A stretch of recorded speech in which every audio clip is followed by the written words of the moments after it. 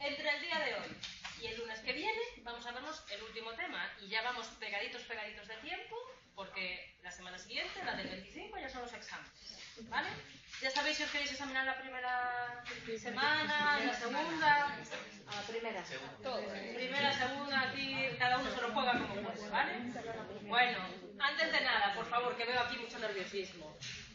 Tanto si os examináis en la primera, en la primera semana como si os examináis en la segunda, por favor, con cabeza. Leeros bien las preguntas. Por favor, que ya sabéis que va a haber muchas que van a ser muy difíciles, que van a ser del pie de página del libro o del pie de la imagen o lo que sea, pero hay otras que tenéis que saber sacarlas simplemente por la cantidad de veces que os las machaco yo en las tutorías. Entonces, ir con calma. Tenéis dos horas, que dos horas dan para mucho, ¿vale? Contestad aquellas que sabéis, ¿vale? Y después jugáis. Si tenéis seguro que habéis, pues yo qué sé, acertado 30, pues oye, os podéis arriesgar más. más. Si solo tenéis 20, pues os podéis arriesgar menos, ¿vale? Ya te, vais a tener, cuando os examinéis, ya vais a tener la nota de la PEC. Entonces, sed inteligentes y, a, y aseguraros del aprobado. Aquel que vaya más confiado, que vaya más tal, que vaya por nota, pero leeros bien las preguntas. ¿Vale? Eh, María, Dígame. ¿hubo problemas este fin de semana para... Hubo problemas con lo- el domingo con el acceso a los cursos virtuales. Y el sábado? A mí me, a- yo, yo accedí el sábado y funcionaba fatal. El sábado a, la, a las 12 de la noche, que fue Sí. yo fui a hacer, la abrí y se me cerró. Y ya no hubo forma. No, y, y además no daba acceso, no cargaba y tal. Y al día siguiente eh, tuve que entrar de, por Alfa, a través de Alf. eh, Hacer un rollo así raro. hacer un rollo raro para poder entrar. Pero no me ponía enviada. O sea, me ponía, eh, ha sido enviada, pero no me ponía contestada. Entonces, por eso quería yo saber si te había llegado. Pues no, ahora lo miro, cuando terminemos la clase si quieres lo miro. Porque más que nada, no vaya a ser que. Yo sé que hoy, hoy funcionó, o sea que tal, pero los el fin de No, semana sí que funcionó fatal y de hecho muchos compañeros me escribieron para tal. Yo tampoco recibí ninguna notificación de que fuesen a ampliar el plazo, ¿eh? Claro, por eso yo quiero saber, porque si no la recibiste, te la vuelvo a, a llegar a casa. Pues ahora cuando de, de explicar esto lo vemos con calma, ¿vale? Chicos, ¿en qué nos quedamos antes de las navidades? Una aproximación general, ¿vale? De lo que es nuestro sistema nervioso central. ¿Lo recordáis o no lo recordáis? Vimos más o menos cómo se constituye, qué es el sistema nervioso central, qué es el sistema nervioso periférico, en qué se diferencia el uno del otro, ¿vale? ¿Qué sistemas de protección tiene el sistema nervioso central? Líquido cefalorraquídeo, todo esto más o menos os suena. Vale, muy bien. ¿Qué vamos a ver en el tema 7? Centrar única y exclusivamente en el sistema nervioso central. Vamos a dejar al margen el sistema nervioso periférico. El sistema nervioso periférico, ¿eh? La médula también se toca en las secciones. ¿La médula qué es? Bajas. Las conexiones de la célula con. ¿Vale? Nos vamos a dejar el sistema nervioso periférico. Tenéis que entender que el sistema nervioso periférico solo son ganglios y nervios que comunican el exterior con mi sistema nervioso central. Nosotros ahora vamos a ver ahora cómo es la constitución de ese sistema nervioso central y vamos a hacer una aproximación general a cómo es anatómicamente y cómo se distribuyen los nervios que hay en él, la sustancia gris, la sustancia blanca y demás. ¿Bien? Con eso cerramos el primer cuatrimestre y en el segundo cuatrimestre veremos cómo funciona ese sistema nervioso central y ese sistema nervioso periférico para recibir información y para suministrar una respuesta. ¿Bien? Vale. Organización anátomo-funcional del... Eh. No, ¿por qué? No me pinta esto. Del sistema nervioso central. A ver si va a ser esto. Eh. No. ¿Por qué? Bueno, pues os lo digo, desde aquí no pasa nada. A ver. Organización anatomo-funcional del sistema nervioso central. Empezamos. ¿Os acordáis lo que habíamos visto de qué es la sustancia blanca y qué es la sustancia gris? ¿Qué es la sustancia blanca? ¿Una acumulación de qué? De axones, ¿vale? Yo tengo a mi neurona, que está compuesta por un cuerpo neuronal, que es este de aquí, ¿vale? Y por un único axón, que es este de aquí. ¿Qué es lo que yo tengo? Muchas dendritas, pero un único axón, ¿vale? Estas son las dendritas, tiqui, tiqui, ti, y este es el axón de aquí. ¿Qué pasaba con el axón? Que tiene que coger la información aquí en el cono axónico y transmitirla hasta el final. Para aumentar la velocidad de transmisión, lo que hago es recubrirlo de una vaina de mielina, que es un tejido, bueno, una sustancia aislante, ¿vale? que evita pérdidas y que hace que el impulso nervioso se, se distribuya con mayor velocidad. Si yo agrupo muchos de estos axones, como están cubiertos de mielina y la mielina es blanca, lo que tendré será sustancia blanca, formada por axones. ¿Qué va a pasar con estos cuerpos neuronales, con estas estaciones de relevo? Que si las agrupo, al no estar cubiertas de mielina, ¿vale? lo que tengo son sustancia de tipo gris. Esta sustancia blanca, veremos ahora, formará tractos, haces, que irán de un lado a otro, y la sustancia gris la formarán núcleos, áreas o cortezas. ¿Vale? Bien. Vale. Se llamará núcleo o área en función de esa sustancia gris, está más o menos delimitada. Núcleo, si es una agrupación de neuronas sin una organización de- defin- definida, pero con una apariencia muy compacta, de tal manera que tú puedes ver los límites. Si esa agrupación de somas es más dispersa y no delimitas tanto cuándo, cómo empieza y cuándo empieza y cuándo acaba. Formará áreas o regiones que pueden tener sustancia blanca atravesándolas. ¿Bien? ¿Dónde tendré yo estructuras laminadas? En mis cortezas, donde esa sustancia gris ya no está formando agrupaciones atravesadas más o menos por la sustancia blanca, sino que tendré capas. ¿Dónde tendré esto? En la corteza de mi cerebelo y de mis hemisferios cerebrales. ¿Bien? La sustancia blanca son las vías de comunicación entre las sustancias grises que pueden ser más o menos largas. Pueden estar comunicando estructuras que estén o muy cerca o estructuras que estén más lejanas y se llamarán tractos, haces, fascículos o comisuras. Entonces, si yo estoy hablando de un tracto, estoy hablando de una sustancia blanca que sale de un núcleo y que va a otro. Lo mismo que si es un hace, que si es un fascículo o que si es una comisura.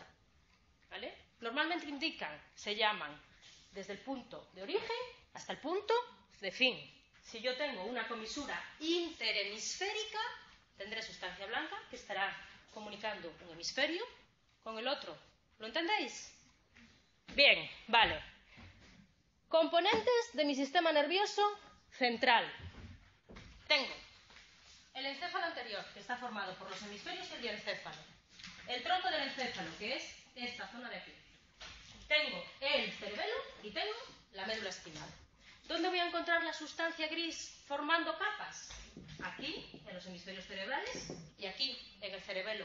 En todas las demás estructuras de mi sistema nervioso central, la sustancia gris estará formando núcleos o áreas, con la sustancia blanca que se le atravesará o no. ¿Bien? Vale. ¿Por dónde accederá la información, vale, a mi cerebro?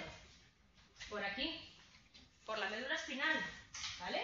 Esta médula espinal será la que me trae la información de mi sistema nervioso periférico y del mundo que me rodea. ¿Por dónde saldrá la respuesta de mi cerebro? Por aquí, por mi médula espinal.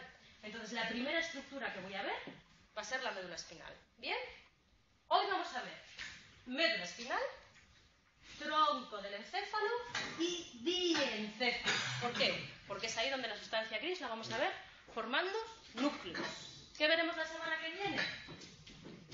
La estructura de mis cortezas, tanto de mis hemisferios cerebrales, de mi corteza cerebral, como de mi cerebelo, de mi corteza cerebelosa. Bien, primera estación de relevo por la que tiene que pasar la información para llegar a mi encéfalo, mi médula espinal. Mi médula espinal que está dentro de mi columna vertebral, formando segmentos medulares. ¿Cuántos segmentos medulares? Vamos, que podéis. ¿Cuántos segmentos medulares? No, más. ¿Cuántos segmentos medulares? 31, ¿vale? Hijos, teníamos, recordar, teníamos cuántos nervios craneales y cuántos nervios espinales? 31, chiquitín, ¿vale? Entonces, los segmentos medulares son pares de nervios espinales que delimitan un trozo de la médula. Tengo 31 par de nervios espinales que me formarán los 31 segmentos medulares. ¿Bien? Y presento dos ensanchamientos, uno en la zona cervical y otro en la zona lumbar, que es donde me están insertando los nervios que van a los brazos y las piernas. ¿Bien? ¿Cómo se constituye o cómo se distribuye la sustancia blanca y la sustancia gris en mi médula espinal? La sustancia gris la tendré en el interior de la médula espinal en forma de mariposa, con la sustancia blanca rodeándola. ¿Vale? En una apariencia externa, yo podré distinguir en la superficie ventral, que es esta de aquí, un gran surco medio y un surco lateral.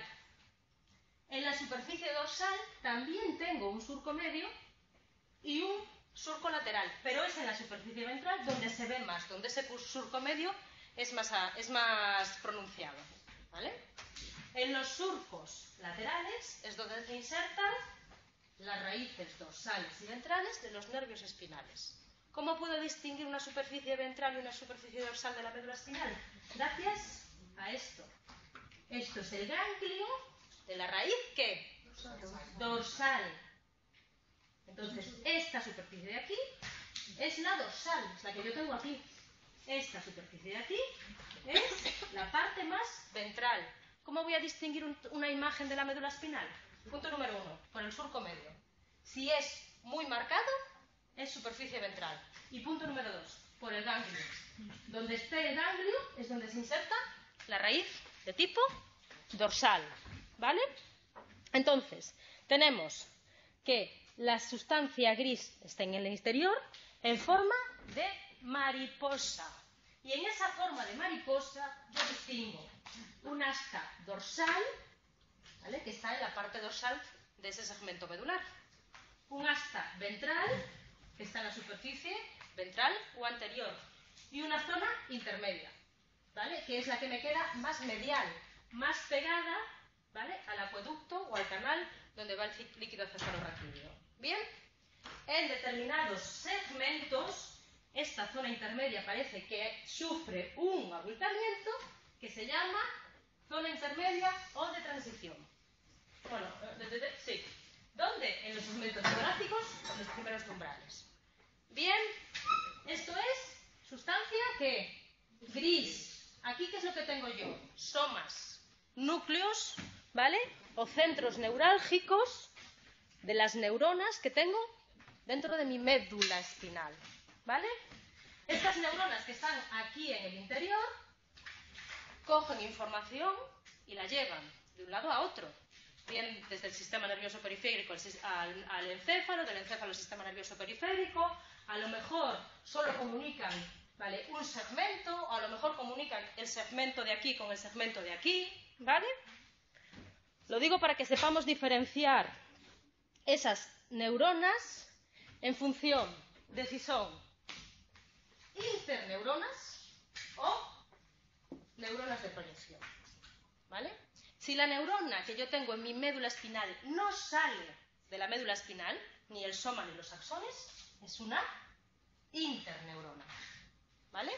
Si la neurona que yo tengo en mi médula espinal coge la información en la médula espinal y la lleva al encéfalo o la lleva al sistema nervioso periférico, formará una neurona que se llamará de proyección. ¿Vale? ¿Cómo son estas interneuronas? Recordar que no salen de la médula espinal. Si no salen del segmento en el que están, son interneuronas segmentales. ¿Vale? Si atraviesan la línea media, comisurales. Y si salen del segmento en el que están, pero no salen de la médula espinal, son propioespinales. Comunican un segmento medular con otro, pero no salen de la médula espinal. Vengo de aquí y me voy aquí, pero no salgo de la médula espinal. Bien, interneuronas. Os digo, esto es funcionalmente una interneurona. ¿Qué pasará con las neuronas de proyección? Que sí que saldrán de la médula espinal, bien para dirigirse al encéfalo o bien para recoger la señal que viene del encéfalo y pasársela a mi sistema nervioso periférico. Entonces tendré dos tipos de interneuronas. Inter- digo, dos tipos de neuronas de proyección. De proyección central, si su misión es llegar hasta el encéfalo, o de proyección periférica, si lo que hacen es recoger esa información que viene del encéfalo y llevársela al sistema nervioso periférico. ¿Lo veis? Vale, yo le llevo información al encéfalo. Soy una ne- neurona de proyección central. Si yo le llevo información al encéfalo, ¿qué tipo de información le llevo? Le llevo una información sensorial. Si cojo la información que viene del encéfalo, le estaré transmitiendo a mi sistema nervioso periférico una respuesta, una información motora. Entonces, las neuronas de proyección, si son de tipo central, llevarán información de tipo sensorial, que podrá ser bien somática, porque estoy informándole a mi encéfalo de dónde están colocados mis músculos, de los estímulos que yo recibo a través de mis pies, ¿vale?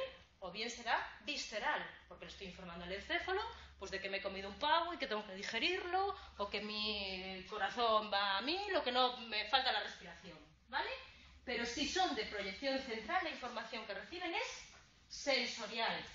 ¿Qué pasará con esa respuesta? ¿Qué pasará con las neuronas de proyección que son periféricas? Que tendrán una respuesta de tipo motor, que puede ser somática, porque me tengo que mover para apartarme de un obstáculo o lo que sea, o puede ser visceral. Tengo que emitir a lo mejor una determinada hormona para digerir el pavo y demás. ¿Lo veis? Entonces, neuronas de proyección central, información sensorial, sensorial. Neuronas de, proyección periférica, información motora. ¿Dónde se van a situar en la médula espinal? Aquellas que son sensoriales se localizarán en la parte más dorsal. Mi información sensorial, ¿vale? Va a viajar por aquí y formarán las fibras, ojo, el sistema nervioso central, somáticas o viscerales. ¿Bien? Cuando me quemo con algo y aparto la mano y me hago consciente de ese movimiento, ¿es motor, es sensorial? Es motor y sensorial. Vamos a ver. Si tú recibes un estímulo, imagínate que tú coges, y yo qué sé, estás por la, coges una superficie de la mesa y notas un pinchazo. Esa información sensorial tiene que viajar al encéfalo y la respuesta tiene que salir del encéfalo.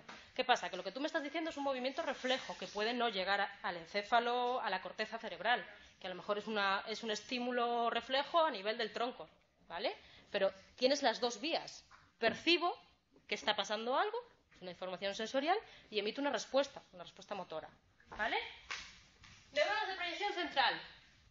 En el punto de vista estarán en la zona más dorsal. ¿Qué pasará con la respuesta motora? Que estará localizada en una superficie más ventral. En el asta ventral. ¿Qué pasa con la información motora visceral? Que está en la superficie ventral, pero en esta zona intermedia. De tal manera que si yo tengo información sensorial, sé que va siempre por la superficie más dorsal. Y si tengo información motora, si esa información motora es somática, está en el asta ventral. Y si esa información motora es visceral, está en la zona intermedia. Bien. Bien. ¿Qué pasa con la sustancia blanca de la médula espinal? Que estará rodeando esa sustancia gris que está en el interior, ¿vale? Y es una vía que comunica una zona con otra, de tal manera que o bien sube, o bien baja, o bien comunica un segmento con otra, formando tractos, que serán ascendentes si van hacia arriba, descendientes si van hacia abajo, y propioespinales si comunican un segmento con otro. ¿Qué pasaba con esas neuronas propioespinales? Que iban de un segmento medular al otro. Que tiene que tener una vía de comunicación, que serán estos tractos propioespinales. Bien. Buah, eso os vale, ¿Dónde estarán localizados esos tractos propioespinales ascendentes, descendientes? En la superficie externa, ¿vale? Esta es mi sustancia gris y alrededor yo tengo mi sustancia blanca. Y esos tractos formarán columnas, que podrán ser dorsales o laterales y ventrales. ¿Vale? Si mi información sensorial está en mi superficie dorsal, esta columna blanca dorsal, ¿qué llevará? Aferente, información que es sensorial, fibras aferentes somáticas de los nervios epidionales que se agrupan en los fascículos delgado y pruneado. No realizan sinapsis hasta llegar al bulbo raquídeo. Si mi información motora viaja por mi superficie ventral y dorsal, mi columna blanca lateral y ventral formará vías ascendentes que se originan en la misma médula y tractos descendentes que se originan en las distintas estructuras del encéfalo. ¿Vale? Bajará la información por aquí. ¿Bien? Pero ventrales, motor. Unas suben, que son las propios espinales, vías ascendientes que se originan en la misma médula, y también tendré tractos descendientes que se originan en las distintas estructuras del encéfalo. Estas serán, ¿vale? Información de tipo motor. Estas son propioespinales, ¿vale? Y estas son sensoriales, puras duras. ¿Vale? Bien. ¿Dudas hasta el momento?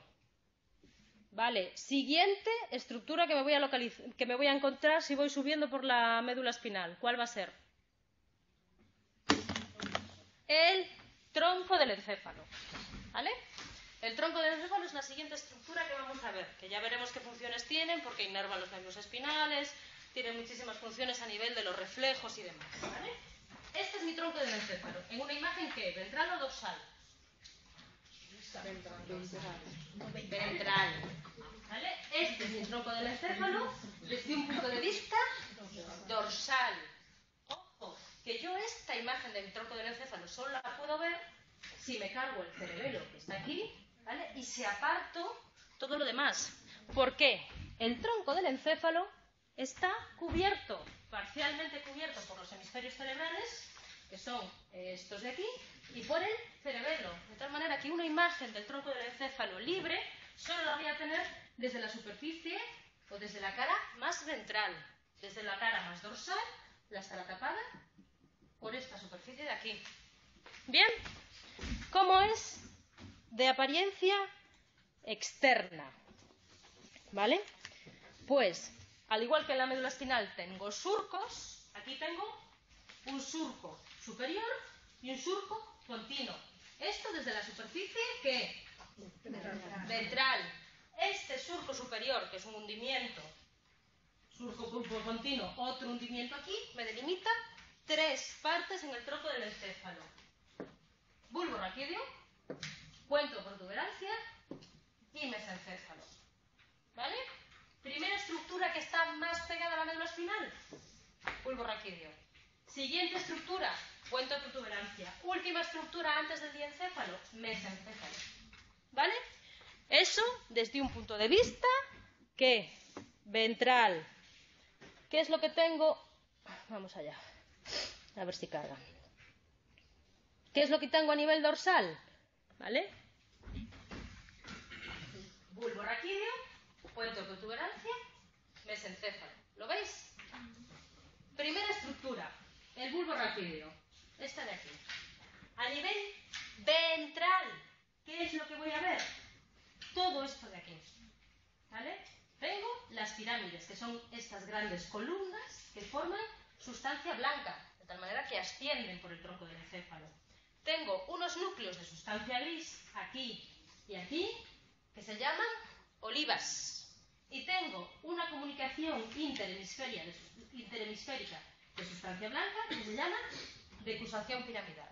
¿Qué hace esta sustancia blanca? Comunicar este lado del bulbo raquídeo con este lado de aquí. ¿Bien?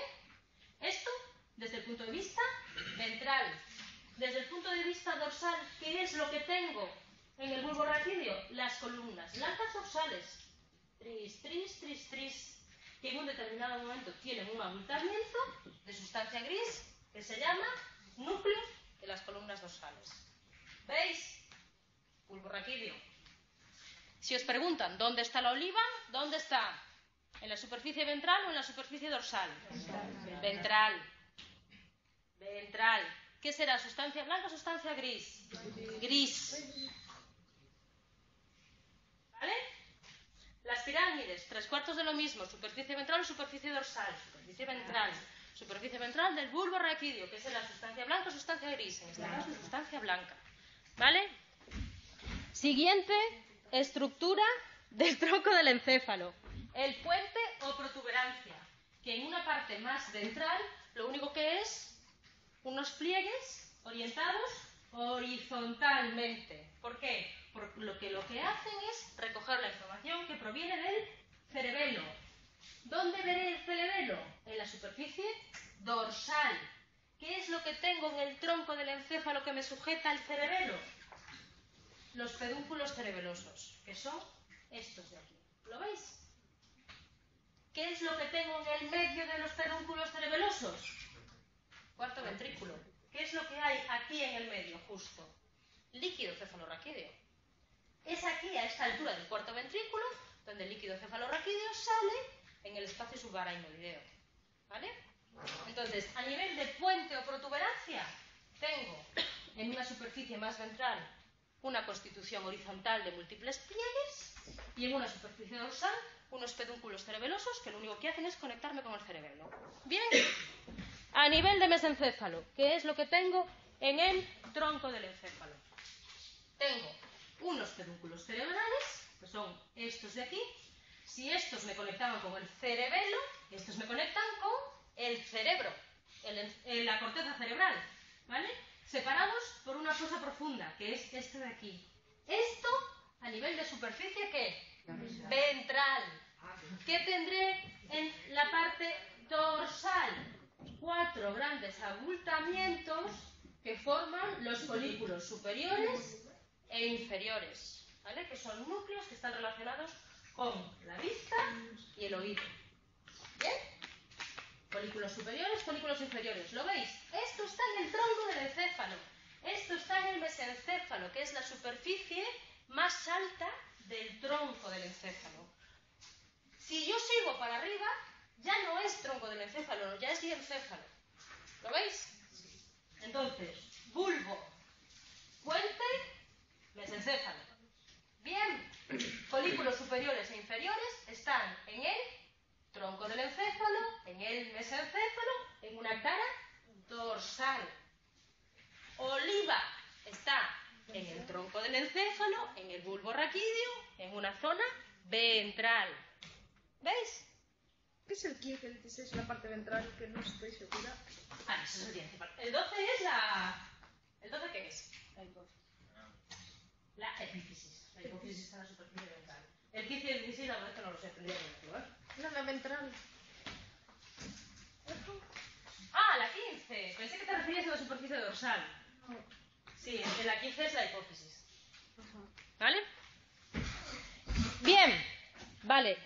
¿Qué función va a tener todas las estructuras que vimos ahora del tronco del encéfalo? ¿Vale? ¿Qué es lo que va a hacer? Vale. El tronco del encéfalo va a tener la sustancia gris formando núcleos, la sustancia blanca que las atraviesa, ¿vale? ¿Qué va a inervar ahí? Los nervios craneales. ¿Qué pasaba con los nervios craneales? Que cogían la información sensorial de todo lo que pasa en mi cara y emitían la información motora a todo lo que pasa en mi cara. Podían ser nervios sensoriales, nervios motores o nervios mixtos, ¿vale? ¿Qué pasa si yo, este tronco del encéfalo, ¿vale? Distingo la superficie más dorsal, techo, la superficie más medial, tegmento, o la superficie más ventral, la base, que en función donde yo haga el corte, si es a la altura del bulbo, si es a la altura del puente o protuberancia, o si es a la altura del mesencéfalo, tendré unos núcleos u otros, unas estructuras u otras, ¿vale? Voy a tener estructuras que son distintas en el tronco del encéfalo, pues oye, ya sé que a nivel del bulbo tengo la oliva o la decusación piramidal, ¿vale? Pero en el tronco del encéfalo voy a tener muchas estructuras que son comunes, ¿vale? Núcleos que están alojando los nervios espinales. Y tendré también la formación reticular y los núcleos de rafe, ¿vale? Ahora veremos. ¿Qué pasa si yo, a nivel del tronco del encéfalo, hago un corte, ¿vale? A la altura de qué? Del bulbo raquídeo. Que en el pecho, en la parte más dorsal, tengo el cuarto ventrículo, el final de ese cuarto ventrículo. Las columnas blancas dorsales y los núcleos de esas columnas blancas dorsales. En el medio, justo justo en el medio, tengo el lemnisco medial, papá, tracto formado por sustancia blanca que transmite información semántica del tronco y las extremidades inferiores. Y, ojo, la oliva, sustancia gris que recibe mucha información sensorial y motor y transmite señales al encéfalo. Que tengo en la base las pirámides. ¿Qué pasa si yo hago el corte a nivel del puente? Que lo que tengo en una superficie más dorsal en el techo es todo el cuarto ventrículo y el cerebelo, que es una estructura totalmente distinta. ¿Y qué es lo que tengo en el tegmento? Los pedúnculos cerebelosos y el lemnisco lateral.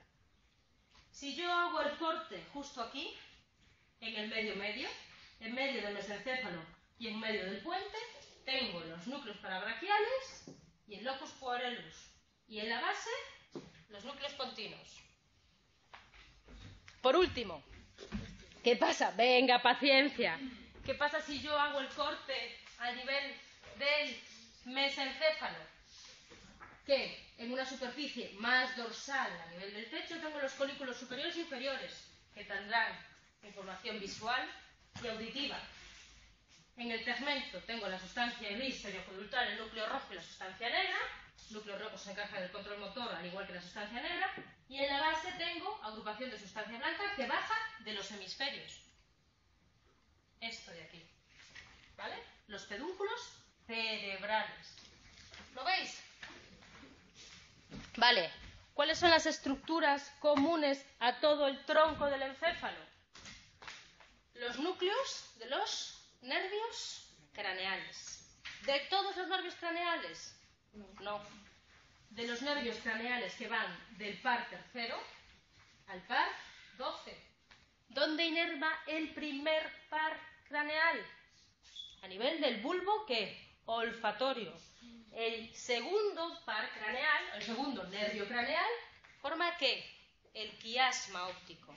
De tal manera que solo inervan en el tronco del encéfalo los pares del 3 al 12. Si los nervios craneales tienen que entrar en algún determinado momento en mi sistema nervioso central, tienen que hacer una sinapsis, tienen que hacer una conexión, de tal manera tiene que haber algún soma, de tal manera que tiene que haber algún núcleo de sustancia que gris, ¿vale? Que podrá ser sensorial o podrá ser motora.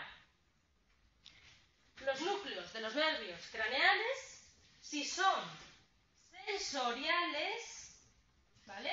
¿Dónde estarán? En la zona lateral dorsal. ¿Qué pasa si esos núcleos de los nervios craneales son nervios que llevan información motora? Que estarán en la zona medial y central. Al igual que esta distribución es igual que que la encuentro en la médula espinal. Información sensorial, superficie dorsal, información motora, superficie ¿qué? ventral. ¿Qué otras estructuras comunes tendré en el tronco del encéfalo? La formación reticular, red de neuronas distribuidas por la zona central del tronco y atravesada por una red de fibras, ¿vale? Y los núcleos de RACE, que están aquí, en una parte mucho, mucho, mucho, mucho, mucho más medial. ¿Qué función tienen estas dos distribuciones, tanto la formación reticular como los núcleos de RACE? Muchas funciones a nivel de reflejos y muchas funciones a nivel de sueño y vigilia. ¿Qué es lo que hace el tronco del encéfalo? Regula lo más simple, las conductas reflejas y las que tienen que ver con la actividad y con el dormir. Bien. Vale, nos hemos enterado de cómo es el tronco del encéfalo, de qué estructuras tiene. Siguiente estructura que nos falta, el diencéfalo. ¿Tenéis más o menos claro lo que hemos visto hasta el momento? La médula espinal, la sustancia gris está en el centro en forma de mariposa, la sustancia blanca la rodea. La información sensorial de la médula espinal está localizada dorsal. La información motora de la médula espinal está localizada ventral y la sustancia blanca la rodea formando tractos y haces que suben y bajan. Ascendentes, descendentes, propioespinales y demás. ¿Vale? La siguiente estructura que me encuentro, tronco del encéfalo. Nada más, seguir. Del tronco del encéfalo, ¿cuál es la estructura que está pegada a la médula espinal? El bulbo raquídeo. Siguiente estructura, puente. Última estructura antes del diencéfalo, mesencéfalo. Tenéis que visualizar un poco cómo es, qué apariencia externa tiene. Pues en el bulbo raquídeo a nivel ventral, pues tengo la liga, la, la decusación piramidal. A nivel dorsal tengo las columnas blancas, ¿vale? Sabemos que el puente a nivel ventral simplemente tiene una constitución horizontal. ¿Por qué? Porque tengo el cerebelo justo detrás, pegado, ¿vale? Y por último, el mesencéfalo es como una zona de transición. Entonces tengo los pedúnculos cerebrales, que no es más que, columna, que sustancia blanca que asciende hasta la corteza, ¿vale? ¿De qué se va a encargar el tronco del encéfalo? Así como la médula espinal coge información y la sube y la baja para llevarla al encéfalo y demás, el tronco ya empieza a tener como un poquito cada vez pues, de más funciones. Pues coge los nervios eh, craneales, lleva información sensorial e información motora a esos pares craneales, ¿vale? Y después pues tiene una pequeña función en lo que es, son las conductas reflejas, lo más básico, sueño y vigilia, vómitos y demás. Siguiente estructura que me voy a encontrar, diencéfalo. A medida que voy a ir subiendo, la cosa se va a ir complicando. Si esto era lo más básico, reflejos y poco más, el diencéfalo ya va a tener a lo mejor una labor un poquito, un poquito, un poquito, ¿vale? Más complicada. Vale, muy bien. El diencéfalo, de manera genérica, está formado por tálamo, la zona más medial, lo que está más en el centro. Hipotálamo, localizado que ventral a él, por debajo del tálamo tengo el subtálamo y dorsal al tálamo tengo el epitálamo. El diencéfalo sí que está totalmente cubierto, ¿vale? Cubierto por los hemisferios que cerebrales. Están todo por aquí. Bien. Vale. ¿Bien o no bien? Primera estructura del diencéfalo. El tálamo. El tálamo tiene forma de balón de rugby, ¿vale? De dos balones de rugby que están unidos entre sí, localizados alrededor del tercer ventrículo, ¿vale? Están unidos entre sí mediante sustancia gris. Bueno, sustancia, sí, sustancia gris. ¿Vale? ¿Cómo van a ser los núcleos del tálamo?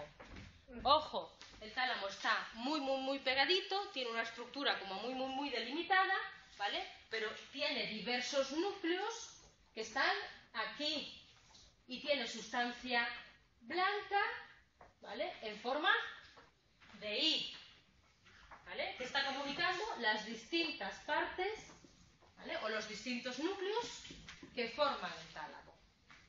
Bien, por aquí que discurrirá la información de un lado a otro. ¿Lo vemos? Los núcleos que están en el tálamo forman siete grupos. Anterior, medial, lateral, ventral, reticular, intralaminar y de la mina media. ¿Vale? ¿Y qué harán estos grupos o estos núcleos de sustancia gris? Hacer de, eh, de estación de relevo de la información que tiene que acceder a la corteza. ¿Vale? ¿Cuál va a ser la gran función que tiene el tálamo? Coger la información que le viene del tronco, coger la información que le viene de la médula espinal y sintetizarla y, empezar a ver si es información visual y tiene que ir a la corteza occipital, información motora y tiene que ir a la corteza motora, ¿vale? Aquí hay una primera síntesis de la información. A partir de ahí, él es el que reparte, el que dice que va a ir a un lado o que va a ir al otro. Entonces, tendremos... Una locura, tío. Es una locura esto. Tranquilos, ¿vale? No os preocupéis. Como es una estación de relevo, tendremos núcleos talámicos. ¿De qué? De relevo elaboran, integran y seleccionan señales que van a la corteza. Ojo, no hacen un, un, traspaso de información o no hacen un relevo pasivo, sino que hacen un procesamiento de la información. En la parte más ventral tendré núcleos que serán de relevo ¿qué? Sensorial. en la parte más anterior y medial, ¿vale? Relevo de señales que proceden del hipotálamo. Cogen la información, la llevan a la corteza, cogen la información que viene de la corteza y la llevan y demás, ¿vale? Bien. Siguiente estructura del diencéfalo. Hipotálamo. El hipotálamo está entrar al tálamo, de tal manera que lo puedo ver desde mi superficie más delantera, ¿vale? Más de aquí. Esta es mi última superficie del mesencéfalo y el hipotálamo lo tengo justo aquí. Lo más importante del hipotálamo es lo que está señalado como número 15, que es la hipófisis. La hipófisis la encuentro justo, esto es el quiasma óptico, el número 2, la encuentro justo debajo. ¿Vale? ¿Qué importancia tendrá el hipotálamo y en concreto la hipófisis? Regular todas las señales hormonales de mi cuerpo, ¿vale? Ojo, el hipotálamo también está formado por núcleos, ¿vale? Que son más o menos compactos y que estarán localizados en tres regiones. Una anterior, una tuberal o media y una posterior. Esto si yo veo los núcleos hipotalámicos desde un corte que sagital. Esto si yo estoy viendo esta superficie, ojo, del hipotálamo. ¿Qué pasa si yo hago un corte coronal? Que los núcleos del, hipotálamo, los puedo dividir en función de si están más o menos cerca del tercer ventrículo. Los dividiré en una zona periventricular, medio o lateral. Periventricular están pegados aquí. Medial, los que están siguiente. Y lateral. ¿Lo veis? Anterior, tuberal, posterior, periventricular, medial, lateral. Bien. Vale, ¿qué harán hipotálamo y tálamo? Coordinación de señales, coordinación de señales motoras, coordinación de señales sensoriales, ¿vale? Hipotálamo, lo que es hipotálamo hipófisis, todo lo que es el aparato hormonal. Bien, es un centro de coordinación. Venga, que voy que termino. Por último, ¿qué nos queda por ver? El subtálamo y el epitálamo. El subtálamo es esta zona de aquí, que está justo debajo del tálamo, y el epitálamo es la parte más dorsal del diencéfalo, ¿vale? Lo más importante del epitálamo, que es la epífisis o glándula pineal, que es esta de aquí. Y si la hipófisis también emite hormonas, y es un centro de control hormonal, la epífisis también emite hormonas, en concreto la melatonina, que lo que hace es controlar los ciclos de sueño y de vigilia.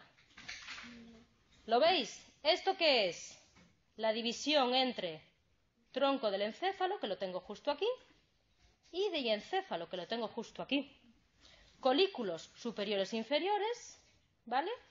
Son tronco del encéfalo, pero epífisis ya es diencéfalo. ¿Lo veis?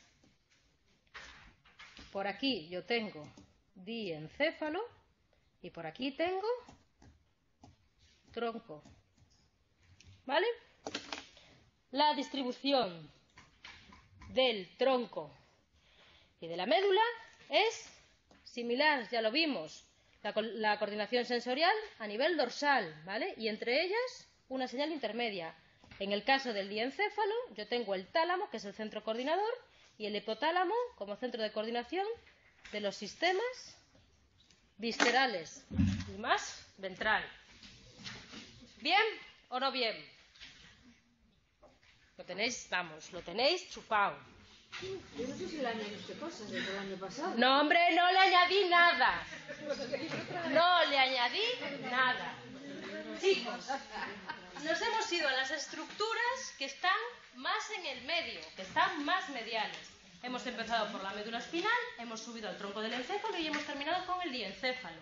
¿Qué vamos a ver la siguiente, la siguiente semana, la semana que viene? Las que están más en el exterior, las cortezas tanto la corteza cerebral, formando los hemisferios cerebrales, como la corteza cerebelosa, que es la que tengo yo aquí.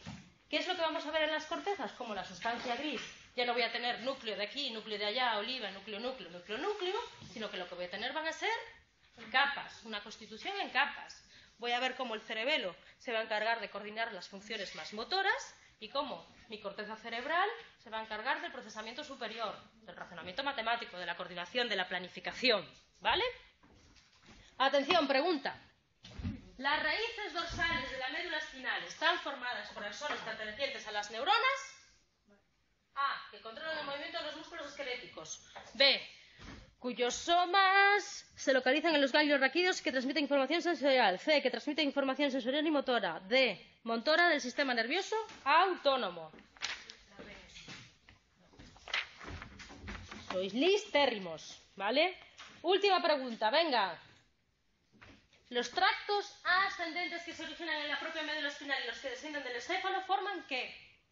Columnas blancas lateral y ventral, columnas blancas dorsales, tractos propioespinales, grandes fascículos que se distribuyen por las tres columnas de la sustancia blanca.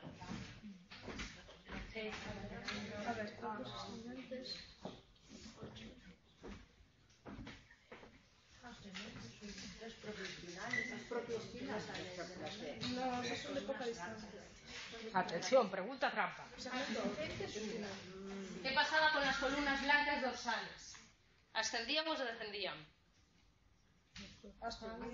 Ascendían. Entonces, los tractos ascendentes que se originan en la propia médula espinal y los que descienden del encéfalo no pueden estar aquí. Los que se originan en la propia médula espinal y suben y los que bajan, ¿dónde están? En las columnas blancas, ¿qué? Laterales y ventrales.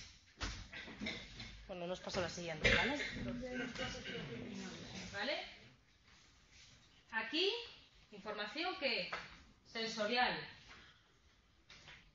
Distractor, distractor. ¿Vale?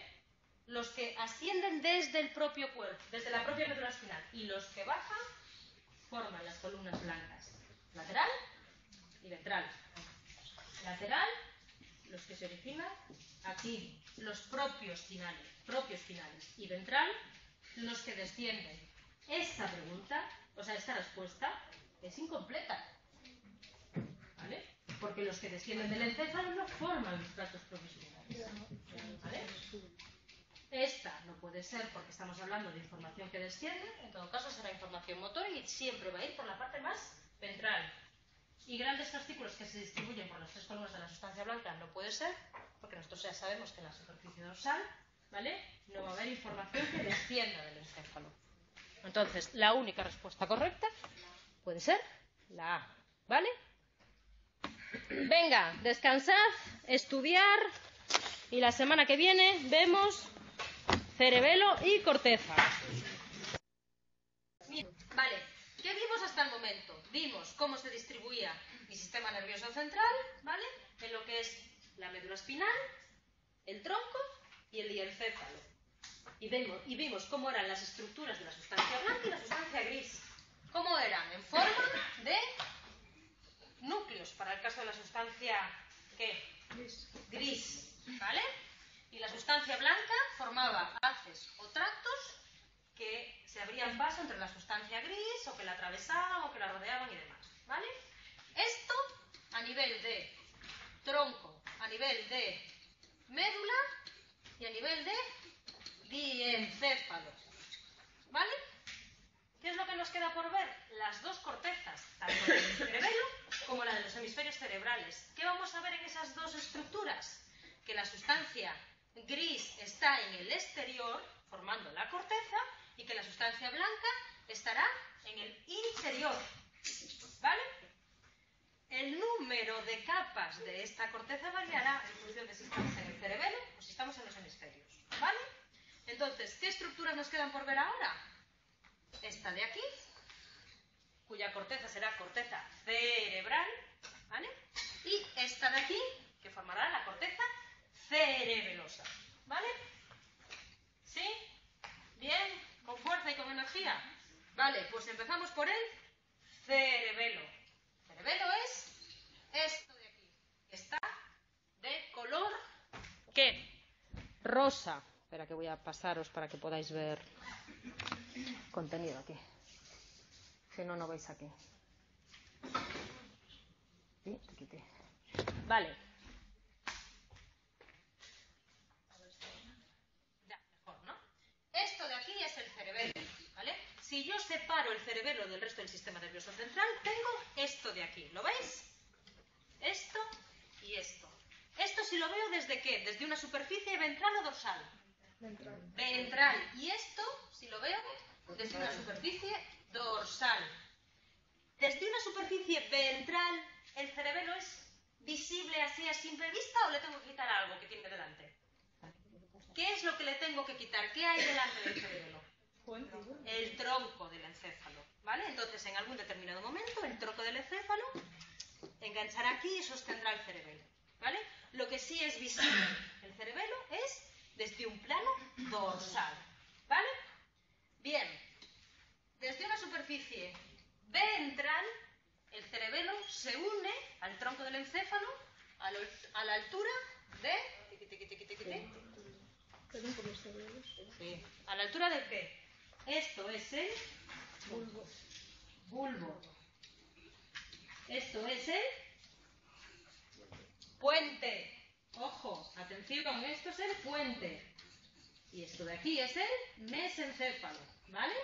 Entonces, el tronco del encéfalo y el, el cerebelo inerva en el tronco del encéfalo a la altura del puente. Y lo sostienen los pedúnculos cerebelosos. ¿Bien? Esto desde una superficie que ventral. Desde el punto de vista dorsal, la apariencia externa del cerebelo es como de muchos pliegues. Horizontales. ¿Bien? Vale. Ah, ya voy, voy a pillarle el truco a esto, ¿vale? Desde el punto de vista dorsal, y si ya me centro en una división transversal o horizontal, yo lo que tengo en el cerebelo son dos grandes fisuras, la fisura principal y la fisura horizontal. Fisura principal, fisura horizontal, que está aquí, ¿vale? Que me separa dos lóbulos, el lóbulo anterior y el lóbulo posterior. El lóbulo anterior es este de aquí, triqui, triqui, tri, y el lóbulo posterior es este de aquí. Eso, desde un punto de vista dorsal. Desde el punto de vista ventral, tengo una fisura más, que es la fisura postero superior, que me está determinado un tercer lóbulo, que es el lóbulo flóculo nodular. De tal manera que el lóbulo flóculo nodular solo es visible desde una superficie que ventral. Esto, por favor, controlarlo bien, que es donde va a caer. Eso si yo cojo el cerebelo y lo divido horizontalmente, hago una división transversal. ¿Qué pasa si el cerebelo, en vez de dividirlo horizontalmente, venga, como una puñeta, lo quiero dividir verticalmente, que tengo como tres grandes superficies.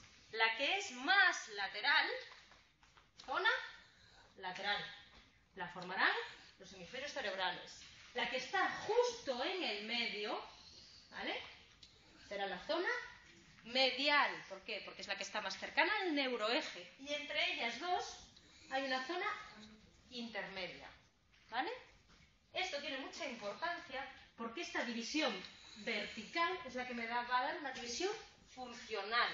La zona lateral, los hemisferios laterales serán los que conecten con la corteza cerebral y la zona más medial será la que conecte con la médula espinal, ¿vale? Y ahora lo veremos. Bien, decíamos que la sustancia gris en el cerebelo estaba formando qué? Cortezas. Y la sustancia blanca estaba en el interior, ¿vale? En el interior del, del cerebelo, por debajo de la sustancia gris y dentro de la sustancia blanca, voy a tener, voy a tener también núcleos, ¿vale? De tal manera que tendré núcleos en el centro, la sustancia blanca y la corteza. ¿Bien?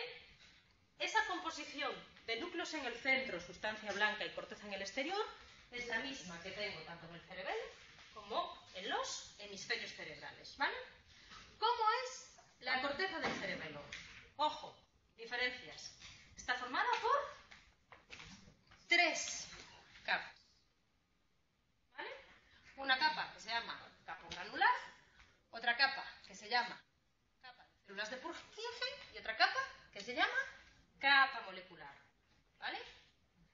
Capa granular, capa de células de Purkinje y capa molecular. ¿Vale? ¿De qué se compone cada una de ellas? La capa granular es la que está más pegada a la sustancia blanca. Es esta capa de aquí. Triqui, triqui, triqui. ¿La veis? ¿Vale? Está eh, compuesta por células granulares y células de Golgi, con, cuyos axones ascienden hacia la capa más superficial y se dividen en dos ramas paralelas o pliegues, ¿vale? Estas neuronas de aquí, a ver que os las voy a situar, ¿vale? Triqui, triqui, tri, suben por aquí y sus axones se ¿vale? Cuando llegan a la capa molecular. ¿Lo veis? Siguiente capa. Capa de células de Purkinje, la capa intermedia, somas de las células de Purkinje, células de proyección del cerebelo que establecen conexión entre la corteza y los núcleos más profundos, ¿vale? Estas células de aquí, estas células de Purkinje, van hacia el interior del cerebelo a hacer sinapsis con los núcleos, que ahora veremos qué función tiene, ¿vale? Y conectan lo que hay aquí debajo con esta corteza de aquí. ¿Bien? Por último, capa molecular con interneuronas más externas, células estrelladas y células de cesto. Si son interneuronas, irán a un lado del cerebelo o a otro. ¿Bien? Eso en forma de capas. Decimos que las células de Purkinje son somas que conectan eh, la corteza con los núcleos profundos que forman el cerebelo. ¿Qué núcleos son esos? Pues son el núcleo fastígeo, los núcleos interpuestos, el emboliforme y, los, y el globoso, y el núcleo dentado. ¿Vale? El que está más medial, el que está más próximo a la línea media, es el núcleo fastigio, que es este de aquí. Lateral a él están los núcleos interpuestos, que son estos de aquí. ¿Vale? Y en el lateral del suelo está el núcleo dentado. ¿Vale? Esto recuerda a la división ¿vale? vertical del cerebelo de zona medial, zona interpuesta y zona lateral. ¿Sí? Esto tiene relación con las conexiones que establece el cerebelo, por un lado, con la corteza cerebral y por otro lado, con la médula espinal. La parte más medial del cerebelo, la que está compuesta por los núcleos interpuestos y el núcleo fastigio, esta zona de aquí, mantendrá conexiones con esto de aquí, que es lo que baja. Bien, la zona más lateral del cerebelo, la que está compuesta por el núcleo dentado, es la que mandará las conexiones que hacia arriba, hacia la corteza cerebral. Bien, ¿lo entendemos o no lo entendemos? ¿Qué función tendrá principalmente el cerebelo? Funciones de coordinación motora. Se encarga de comparar lo que viene por aquí, que lo que le mando aquí, que lo que recibo por aquí. De tal manera que cuando yo tengo que hacer alguna planificación motora y demás, este señor es el que coordina. ¿Bien? Entonces, ¿qué estructuras tengo en el cerebelo? Unos núcleos en el centro de todo, una sustancia blanca, ¿vale? y una corteza cerebelosa formada por núcleos de sustancia gris. ¿Cuántos, ¿Cuántas capas tengo? Tres. ¿Vale? Bien. ¿Dudas? ¿Todo clarito? ¿Qué hacen los interpuestos? Los núcleos interpuestos. Los núcleos interpuestos, mandarle señales a abajo, a la médula espinal. ¿Vale? Esta zona medial es la que habla con la de abajo y esta zona lateral es la que habla con la de arriba. ¿Y esto qué es lo que hace? Comparar lo que entra, lo que sabe, lo que sube para lo que hace. ¿Vale? Vale, segunda corteza que nos queda por ver. La de los hemisferios cerebrales. ¿Vale? Hemisferios cerebrales que son dos, tienen forma de nuez y demás, tienen muchísimas abultaciones que se llaman que circunvoluciones, lo que son todas estas abultaciones, y que tiene, pues a lo mejor, unas grandes depresiones o unas grandes fosas o como queráis llamarlo, ¿vale? Esas grandes depresiones o esas grandes fosas se llaman fisuras. ¿Cuántas fisuras tengo? Tengo la fisura longitudinal, que es la que me separa hemisferio derecho de hemisferio izquierdo, ¿vale? tengo la fisura central o de Rolando, que es esta de aquí. ¿Vale? Tengo la fisura lateral o de Silvio, que es esta de aquí. De Rolando, de Silvio. ¿Lo veis? Rolando, Silvio. Y por último tengo la fisura parietoccipital, que es esta de aquí, que está más hacia atrás. ¿La veis? Esta es mi fisura longitudinal. Si yo corto por aquí, en el centro del encéfalo, quedaros con esto, fisura central. Si me voy hacia un lateral, fisura lateral. Y si no, fisura parietoccipital. Estas grandes, ¿vale? Estas grandes fisuras me están marcando los lóbulos que componen mi corteza cerebral. ¿Qué serán? Mi lóbulo frontal, de aquí. Mi lóbulo parietal, este de aquí. Mi lóbulo occipital, este de aquí. Y mi lóbulo temporal, este de aquí. ¿Lo veis? Lóbulo frontal. Ojo que tendré lóbulo frontal derecho, lóbulo frontal izquierdo. ¿Vale? Lóbulo parietal, aquí. Este que tengo yo aquí, en el lateral, es mi lóbulo temporal. Y este que tengo en el cogote, que está en, color amarillo, es mi lóbulo occipital. ¿Qué será esto de aquí? Cerebelo. ¿Vale? Esto de aquí y esto de aquí será mi tronco. ¿Vale? Esto, en cuanto yo tengo como una superficie externa, cuando yo cojo el encéfalo y lo giro sin necesidad de modificarlo, sin necesidad de cortarlo. En los hemisferios cerebrales hay dos lóbulos más que no están visibles desde una superficie externa, que para poder verlos tengo que romper por algún lado, que son... Venga, ¿quién me los dice? Ínsula, ¿vale? Si yo cojo y abro por aquí, ¿vale? Esto de aquí es el lóbulo de la ínsula, ¿vale? Aquí que tengo mi fisura qué? Lateral. Cojo por a nivel de mi fisura lateral, abro, ¿vale? Y aquí tengo mi lóbulo de la ínsula. Y si yo cojo un corte medio sagital y abro así el encéfalo como si fuese una nuez, ¿vale? Tengo el lóbulo límbico, que es esto verde de aquí. ¿Vale? ¿Lo veis? Justo en la superficie medial de los dos hemisferios. Este lóbulo límbico, límbico será encargado de procesamiento de las emociones. Ahora lo veis. Bien, ¿entendéis? Fisuras, por favor, estudiároslo bien, lóbulos, estudiároslo bien.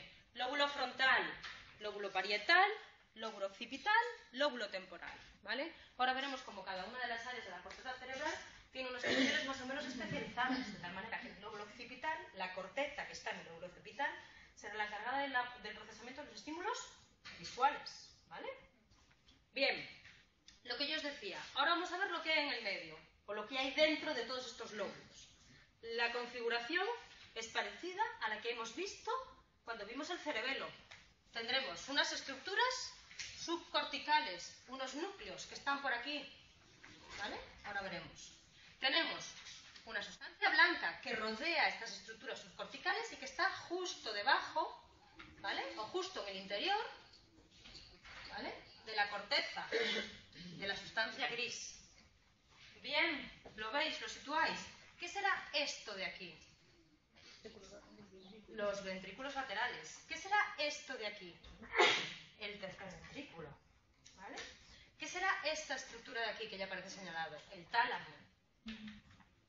¿Lo veis? Esto es diencéfalo, pero esto de aquí ya es corteza cerebral. ¿Bien? Vale. Dudas hasta el momento. ¿Lo tenemos todo claro? ¿Qué estructuras subcorticales tengo dentro de mi hemisferio cerebral? ¿Qué núcleos de sustancia gris tengo dentro de la sustancia blanca que forma parte de mis hemisferios cerebrales? Vale. Tengo. Punto número uno. Cuerpo estriado. Lateral al ventrículo lateral. Esto es el ventrículo lateral. Pues lateral a él tengo el cuerpo estriado, que es este, estos tres núcleos de aquí. ¿Vale?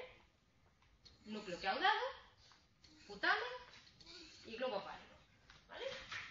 Putamen, el más grande, este de aquí. Caudado, más hacia arriba. ¿Vale? Y globo pálido, estos dos que están aquí, más mediales. ¿Lo veis? Os, leo, os, os limpio.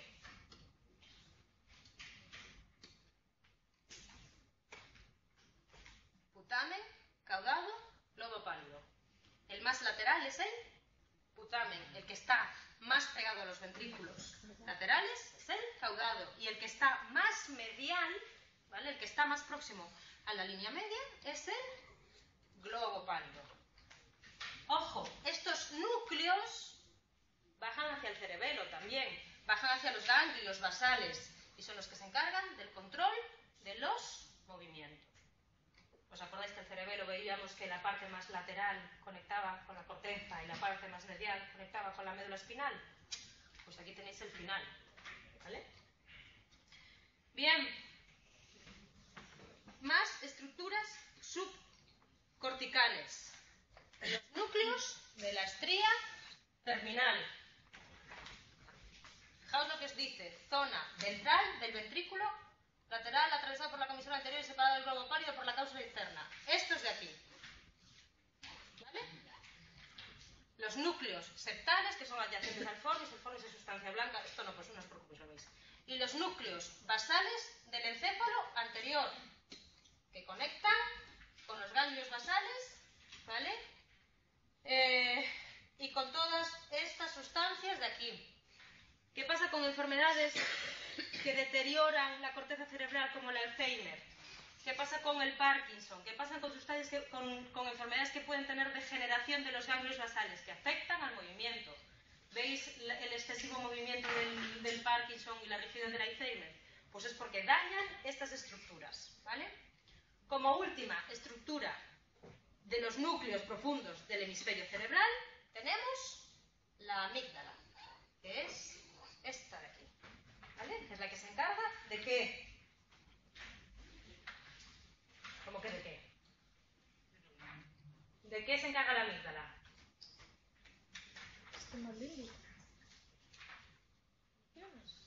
Emociones.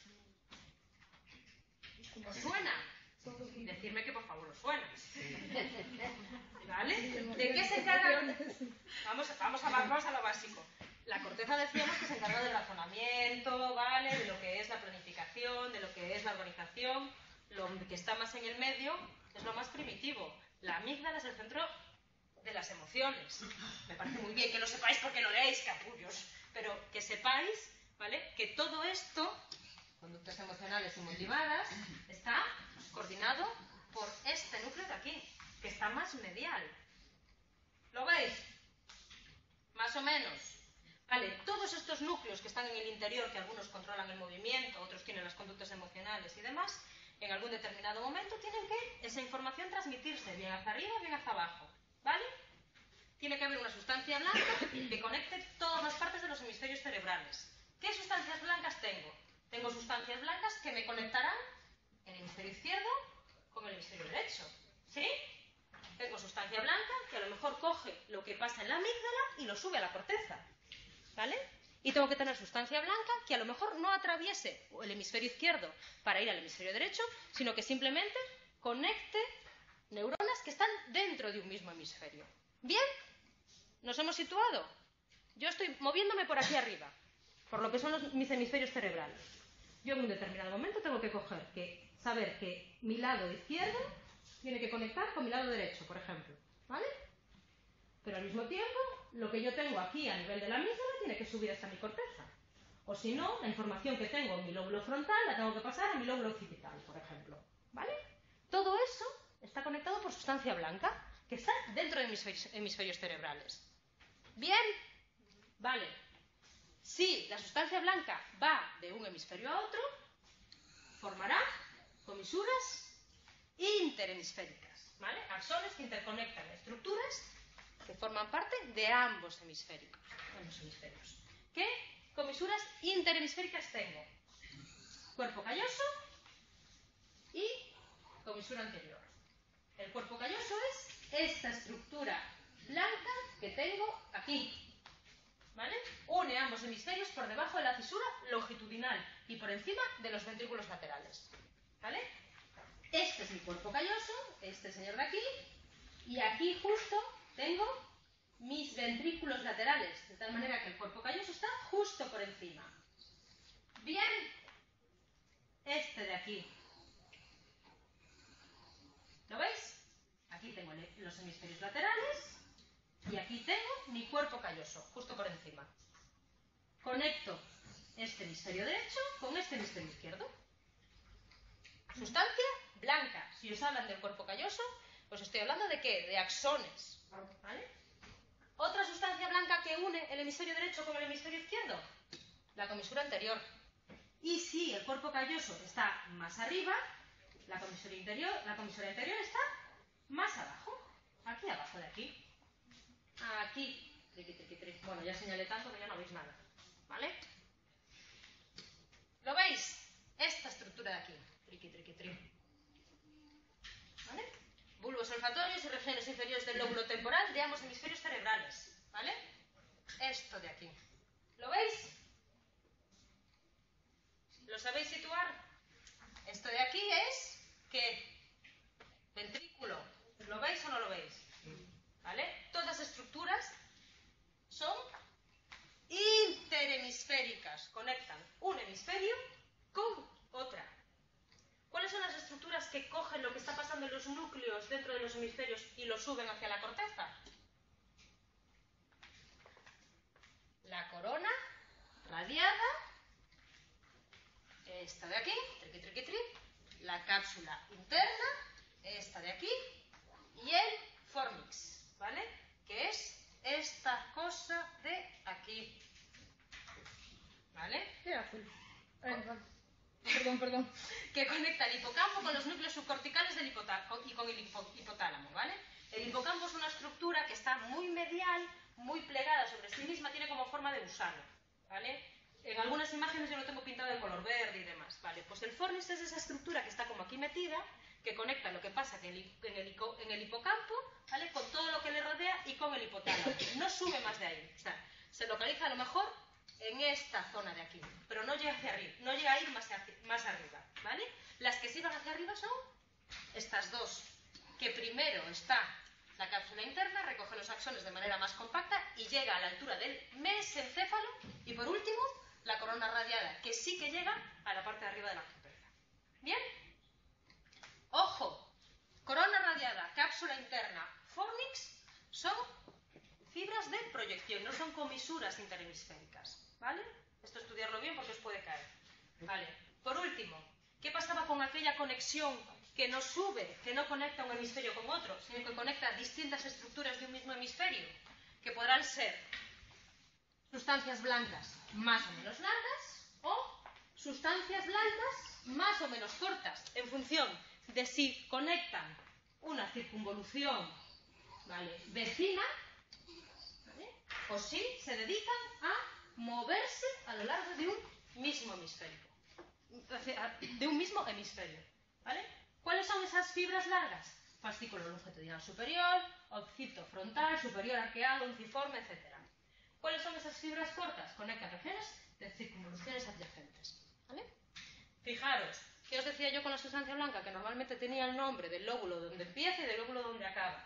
Pues aquí están uniendo el lóbulo occipital que es este de aquí, ojo, con el frontal, que es el que está justo aquí. ¿Lo veis?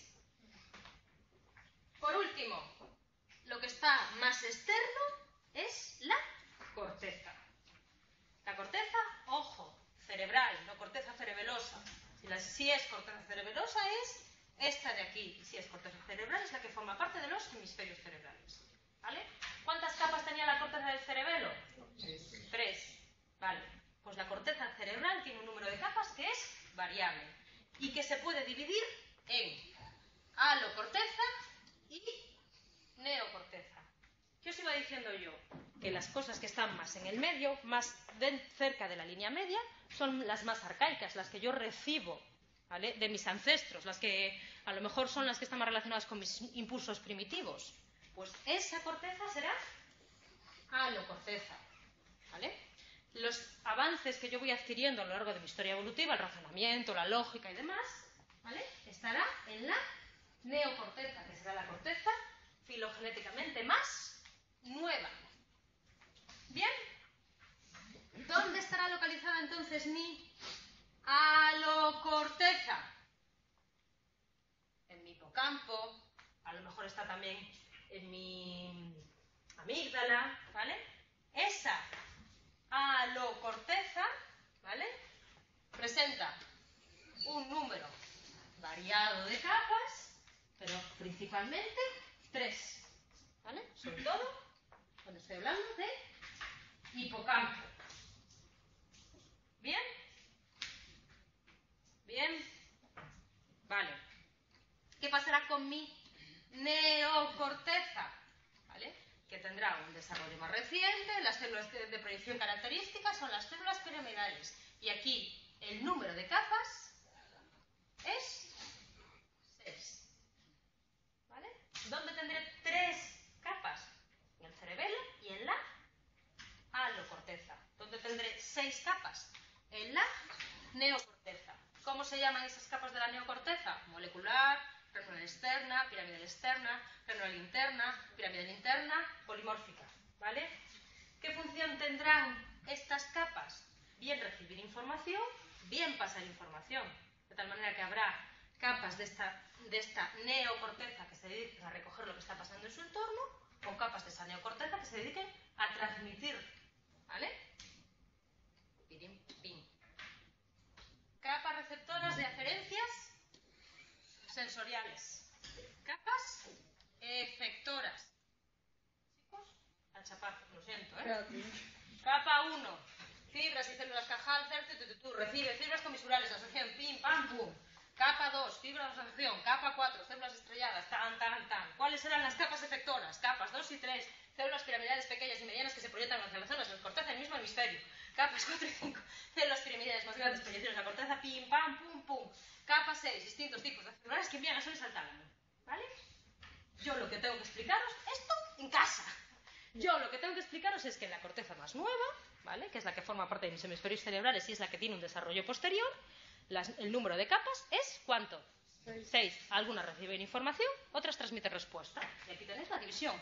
¿Qué capas son las que reciben esas aferencias sensoriales y qué capas son las que emiten la respuesta? ¿Esto qué me está diciendo? Que la corteza cerebral se divide ¿qué? horizontalmente. Esto es una capa por encima de otra, por encima de otra, por encima de otra. En función de si están más internas o más externas, tendré molecular, granular externa, piramidal externa, granular interna, piramidal interna o polimórfica. ¿Vale?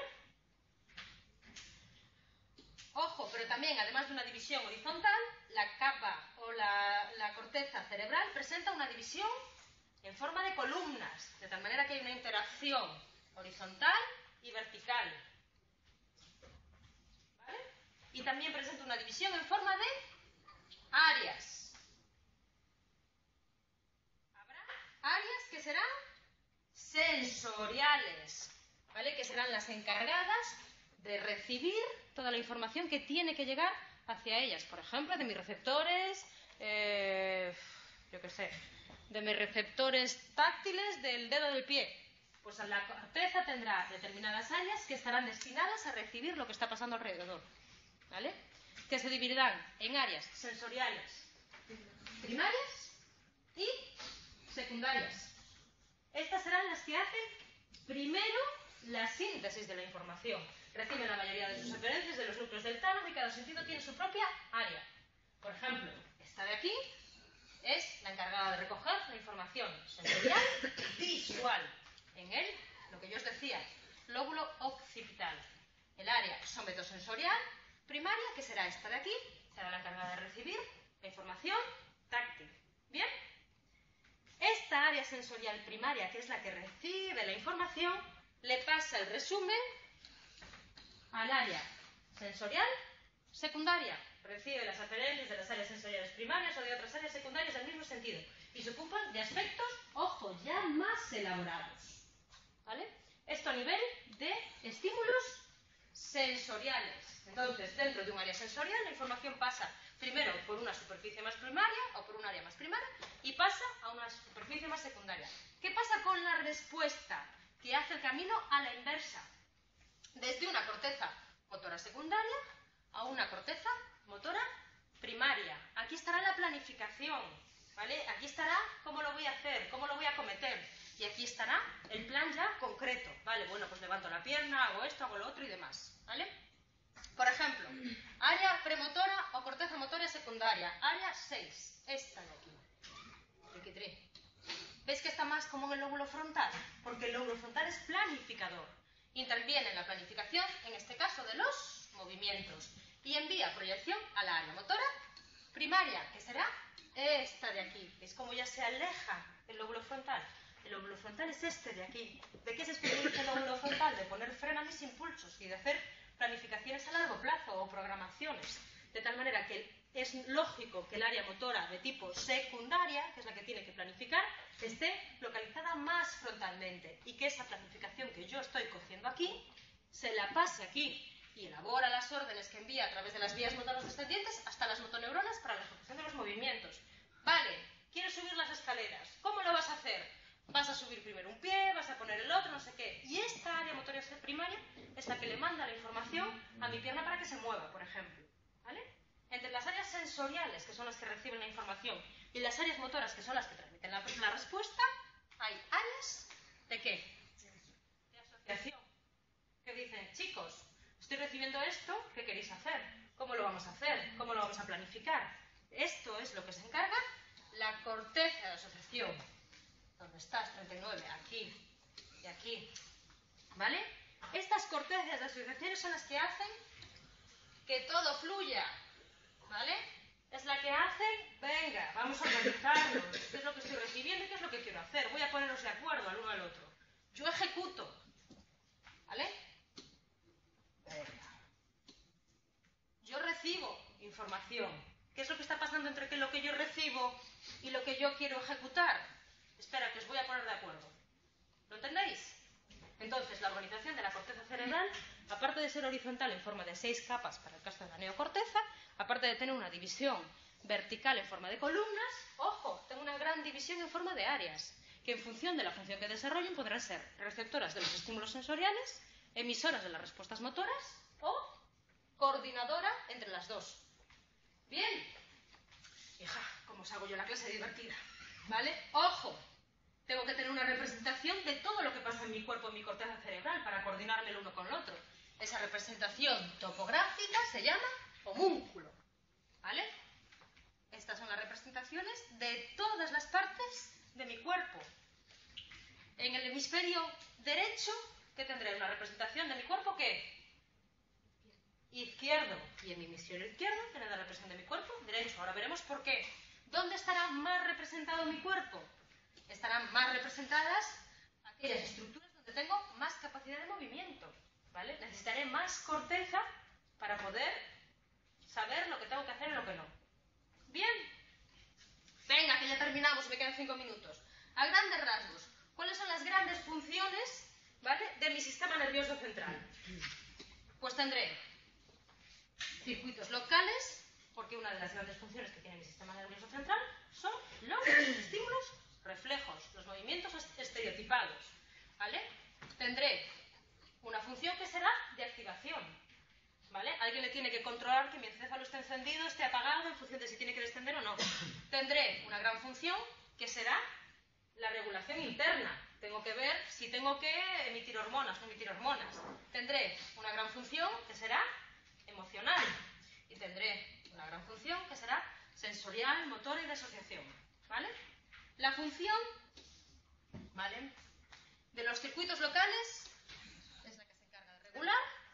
¿vale? lo que son los reflejos. ¿Bien?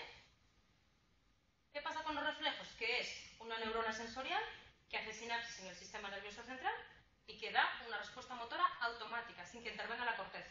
¿Vale? Esa sinapsis puede ser en la médula espinal o puede ser a la altura del tronco del encéfalo, pero no interviene mi conciencia, la hago de manera automática, rápida. ¿Bien? ¿Quién se encarga de controlar que mi encéfalo esté más o menos activo? Ese gran sistema o esa gran función de que es el control de la actividad cerebral. Se encargará la formación reticular, que vimos que era estos grandes núcleos que tenía en el, tala, en el, en el tronco y algunos también en el tálamo, ¿vale? Que estarán regulando que mi encéfalo se apague o se encienda. Y los triqui, triqui, tri, núcleos de RAFE. Bien, estáis todos como con cara de no sé si mataros o venga hombre, venga hombre, que esto es fácil. Por último, tengo unas neuronas, el locus coeruleus, locus coeruleus, purelus, purelus, ¿vale? Ojo, que me están distribuyendo en toda la zona anterior noradrenalina, boom, boom, boom, boom. ¿Qué pasa con la adrenalina? Que me tiene activo, ¿vale? Esta es la gran función que tiene mi encéfalo a nivel, ¿qué? De actividad. Bien. A tope con la vida. ¿Qué otra gran función tiene mi encéfalo? Chicos, esto es lo que os pasa en el día a día. O sea, ¿por qué estoy contenta? ¿Por qué estoy triste? ¿Por qué no sé cuándo?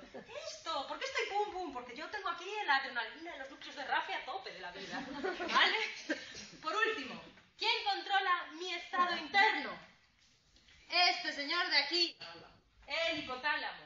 El hipotálamo que ya veremos cómo hace para controlar mi, mi medio interno, ¿vale? Con su ayuda de sus hormonas y demás, etcétera y con una serie de vías de comunicación que van triqui, triqui, triqui, hacia la hipófisis, sistema endocrino que ya veremos, y hacia el tálamo. ¿Vale? Dichoso. Ahí me queda uno. Y hacia el tronco del encéfalo. ¿Vale? ¿Dichoso qué? El tálamo, tío. ¡El tálamo es hostia! Pero el tálamo es el jefe. Tías, pero tenéis que tener al tálamo así, vamos, en un pedestal. Porque el tálamo coge y dice... "Shh, Tú pasa para aquí, tú pasa para allá, tú venga para allí. ¿Dónde estás tú? ¿Tú qué eres? No, no, tú no pasas, tú vete para abajo. El tálamo es el rey. Si tuvieseis que escoger una estructura cerebral, ¿cuál seríais? El tálamo, hombre. ¡La hostia! Pasa. No, no puedes entrar. Esto es como Galbraith. ¡No puedes pasar! Pues ese es el tálamo, ¿vale? Venga, por último, mi sistema límbico. Bueno, por último no, mi sistema límbico, mi sistema emocional, mis emociones, ¿vale? ¿Qué tendrán? Mi sistema límbico tendrá mucho, mucha conexión con qué? Con mis bulbos olfatorios, ¿vale? Bueno, ya lo veremos más adelante, ¿vale? ¿Cómo haré el sistema de control motor y de, y de ascenso de la información sensorial? A través de las vías que suben y bajan a la corteza cerebral y que en un determinado momento se cruzan de hemisferio. De tal manera que la información sensorial, una vez que sube por la parte izquierda, pasa a la derecha y la información motora, una vez que sale de la parte izquierda, cruza hasta la derecha. ¿Bien? ¿Por qué estructura cruza? Por el tálamo. ¡Pero no ves! El tálamo es la otra. ¿Vale? Venga. Eso se nos va a quedar ya. El tálamo, bueno, esto ya... Todo, o lo veis a la... Lo peor de todo es que veis al examen en plan de... ¿Qué estructura hace no sé qué, no sé cuánto? Tálamo. ¿Qué estructura no sé cuánto? Tálamo. No. Ojo, esta información sensorial que sube y esta información motora que baja, siempre coordinada por la corteza de qué? De asociación. ¿Bien? Perfecto. Ahora, ¿Qué? un- unos lóbulos, pero vamos. Anonadados. Anonadados, la información sube, la información baja. Venga, no sé yo a qué se Queremos que suba. Que sí, mujer, que sí. Sí, hombre. Os habéis quedado flipados. Ha sido la mejor clase del mundo mundial. O sea, pero venga la sustancia blanca y los núcleos así eh, interhemisféricos, que no, que es sustancia no sé qué, venga. A ver, dos preguntas de examen para que veáis cómo puede caer o cómo pueden preguntar.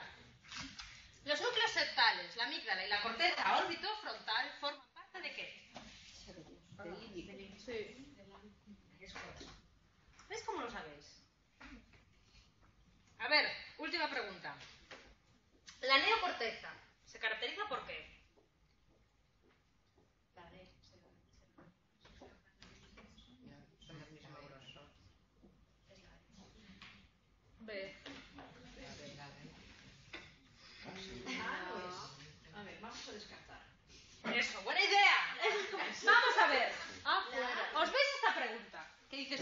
A mí me valen todas o no me valen ninguna.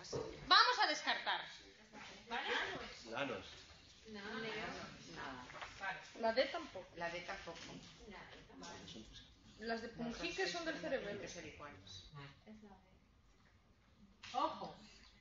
No sé si hay interacción vertical, no sé cuánto pipipi, pero sé que estas no son propias de la corteza cerebral. Pues entonces, la única opción posible es la B. ¿Cómo lo veis? Pues así con 25, 30, 40, las que tengáis. Una tras otra, tenéis dos horas. Vale, venga, que ya me voy, que me quedan cinco minutos y no quiero chafaros toda la tarde. Hoy os dejo esta presentación, ¿vale? Para que la tengáis en el foro. Cuando me pasen el enlace, os cuelgo el enlace. Por favor, estudiad. Por favor, aunque no estudiéis, cuando vayáis al examen, tomaros el tiempo para leer bien las preguntas. Y hacer lo mismo que hemos hecho con esta pregunta de... No sé, la C.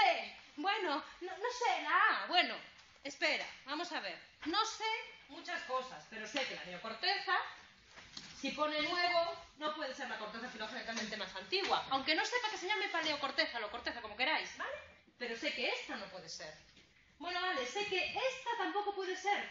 Porque me suena que no sé qué no sé cuánto. ¿Sabes? Y ir haciendo este descarte. Malo será que de 30 preguntas que tenéis, 20 Ala, ala. Venga, hombre, que estáis estudiando muchísimo. No sepáis más o menos por dónde van. Pues de esas 20 yo me arriesgo con 15. Vale, muy bien. Pues sé que voy a sacar un 4 y medio si las tengo bien, pero tengo la nota de las... Estudiar y cuando lleguéis al examen, con calma, ¿vale, rapaces? Venga.